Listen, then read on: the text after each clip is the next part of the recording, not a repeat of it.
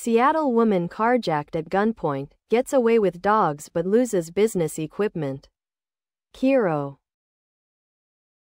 A Seattle woman says she feels unsafe at her own home after thieves carjacked her at gunpoint and th. Redden to bleep her. Below are your comments. Make sure to go out and vote for soft on crime candidates simply because of the D next to their name. Dot. That way stuff like this will definitely stop happening.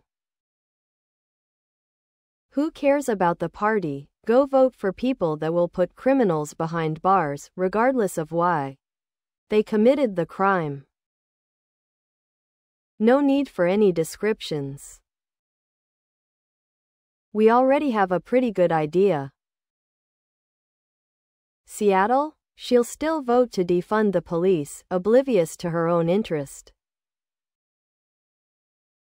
As long as she got her dogs, she's happy and will continue voting Democrat as the carjacker needed H. car more than she did.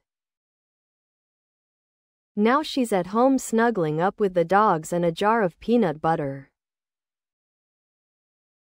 Content creator, wake up that is not a real job, dime a dozen nothing work.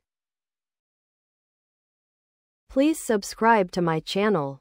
And if you like it, please thumbs up.